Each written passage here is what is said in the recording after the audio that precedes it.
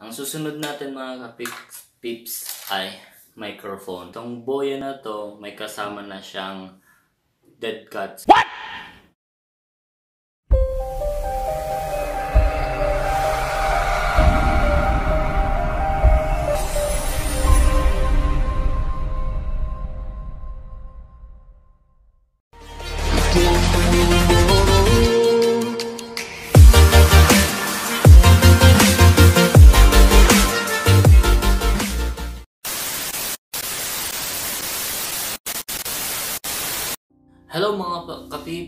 Magandang buhay sa inyo. So ngayon, balik tayo sa dati kong video na pinakita ko yung mga gamit ko, ano yung mga ginagamit ko sa akin, bla bla. So ngayong araw na ito, sa itong video na ito, ipapakita ko naman sa inyo kung paano ko gamitin itong mga kagamitan ko para sa pag-vlog. Pero before tayo magpatuloy, uh, magbabasa muna tayo ng komento galing kay Gay Bitangka. Sabi ni Gay Bitangka, Wow, kaingit naman. Ikaw, sana magkaroon din ako niyan. Hihihi. In my dreams, mapasyal din ako. Galing din kay Mami Catherine. Ganda po ng gamit niyo pang vlog. Keep it up po until ma-reach natin yung goal. Yun. Sabi naman ni Marge, the mountain girl. Wow! Sana makabili rin ako nito. Yun. Sabi ni Simplify Channel, dito na ako dagdag pang kulay. Wow, kompleto ang gamit sa pag-vlogging mo. Nice.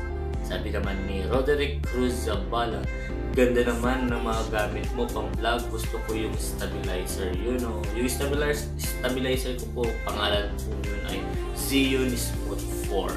Yun, sabi ni Shin Vlog TV, Wow, salamat sa pag-share kabayan.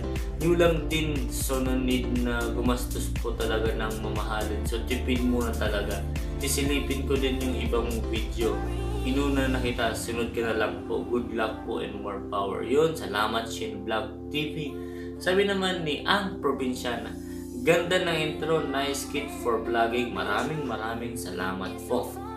Sabi naman kay Annalie Ganda ng pang vlogging equipment. Salamat sa pag-share. Yon. Sabi ni Nice Hairstyles. Wow, ang gaganda ang gamit ninyo. Yon. Sabi naman ni Just For You. Wow, sana all meron ganyan. Yon. Sabi ni Mami Girly of Isabella Balara. Ang ganda po ng gamit niyo at mukhang quality. Yun. Sabi naman ni Libod Suroy, Palaboy, ayos gamit mo boys, galing ng intro, turuan mo ako. Tuturuan kita. Uh, Libod, yun. Sabi naman Lighting Wolf Gaming, hello po. Nauna na, naunahan at napindot ko na po ang inyo. Papindot naman po ng akin, wait ko po kayo yun. At sabi naman ni Roel Canales, Wow, makabili nga din yan kasi simple lang din ang gamit ko. You know, So yun nga guys, ito po yung mga o paano ko po gamitin yung mga mga gamit ko. So come on, let's watch this guys.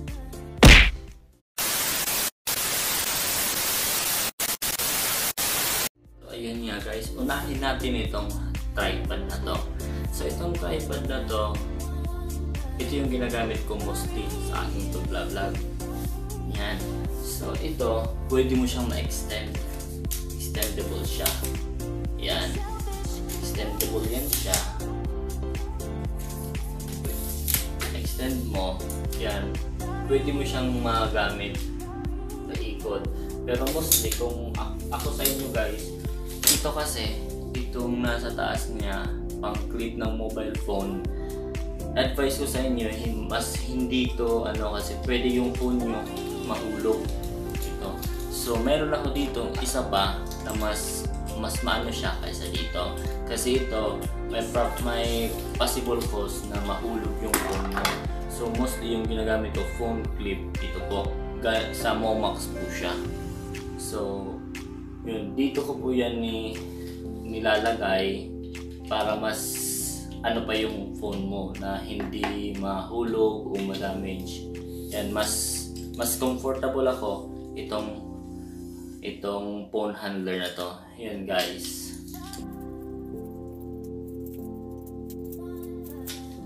Yan.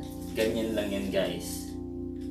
Eh, para mailak yan dyan, ipihit mo lang ganyan. Matigas na siya pang taas. Ito naman, ipipihit mo para maikot siya. Yan. Ilalak mo para hindi siya alaw. Ito naman guys, pang pa-extend sa taas. Yan. Yan ang gamit ng tripod. Ito yung gamit ko. Zack. Makikita nyo. Zack. Pero ito, kung wala pa kayong budget, kasi ito, mura lang to kasi alam mo naman, nagtitipid tayo. Pwede na rin to kung amateur vlogger ka pa lang. Yun. Ito yung mga features niya sa loob. Yan, start natin. Power on natin. Pupula yan. Tapos lalabas yung zack. Yan. Yan yung nasa loob niya. Yan. So, yung nasa loob niya, ito, ilolong press nyo tong nasa taas. Okay. Yan. Meron yan dyan nakalagay na na resolution. Dito yung pagpindot kung gusto nyo bumaba. Resolution, loop recording, exposure, date stamp. So, so balik, babalik tayo doon sa taas. Yan. Pipili lang kayo pero mas better kung gamitin nyo yung 1080p kasi mas maganda yung kuha niya. So pag pag back, ito lang pipindutin nyo yung mode. Yan. I-long press nyo yan tapos para bumalik naman dito sa may parang settings niya. I-set niyo yung date, auto power niya kung kung hindi siya nagagamit after 3 minutes automatic mag-off siya screensaver, sound, language ayun, TV output frequency kung gusto niyo i-format yung setting, default setting at saka version, version nito yan po mga mga ka-pips yan, off na natin yan po. Ang susunod natin mga tips ay microphone. Itong microphone na to ay Boya MM1. So itong Boya na to may kasama na siyang dead cut. Sabi nila dead cut daw to. Patay na, patay na pusa bale. So, uh, balahibo ng pusa. Yun tawag nila dito kung manonood kayo sa ibang ano ng YouTube, YouTuber, sabi nila dito, balahibo ng pusa, ayun. So itong itong microphone na to, meron siyang wire. Yun. Itong wire na to, kapag nakikita nyo, dalawa yung line. Dalawa yung line, dito niya ilalagay. Maririnig nyo yung tunog. Kapag mag yun, nakaano na siya, naka, nakalock na sa loob. Kung mobile phone yung gamit mo, ito dapat yung, yung line niya. Nakikita niya medyo naglalabo. Yan, tatlong, tatlong guhit siya. So, ipapasok niyo siya sa, mic, sa phone niyo para magamit. So, kung nagsasalita kayo gamit dito, minsan, uh, okay naman yung ano niya. So, so, ito, ilalagay nyo to dito sa loob. Paglagay nyo, para ma-reduce yung ingay sa labas. So, test natin kung ano ba yung yung boses nito. Ito yung ito yung gamit ko na walang microphone. So ngayon, ipapasok ko siya kung ano yung tunog. Ayan, napasok ko na. So ano po yung pagkakaiba? Ano yung pagkakaiba ng may microphone at walang microphone? Yan, may microphone na yan. Ito naman yung ano po yung pagkakaiba? Comment down below. Natin is microphone holder. So, katulad nito sa tripod ko. Sa tripod ko kasi hindi pwedeng walang walang microphone holder. Bakit? itong microphone ko kasi wala siyang lagayan. So, paano ko ba siya may lalagay? So, ayun, bumili ako ng microphone holder. Ikakabit ko lang siya ng ganyan. And then, pasok ko yung pasok ko yung mic.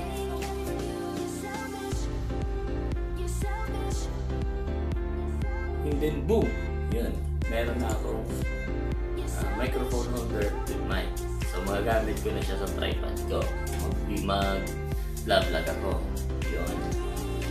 Ayun nga mga pips. Ito naman na yung gamit ko, Xeon. So, gamit ko lang is mobile phone.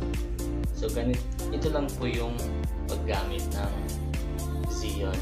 So, kung gusto mo nang medyo hindi siya shocky, in, may, nakaka, naka-stabilizer siya, yung smooth yung gamitan niya, ito yung bagay sa'yo kung gusto mo nang hindi magalaw na video.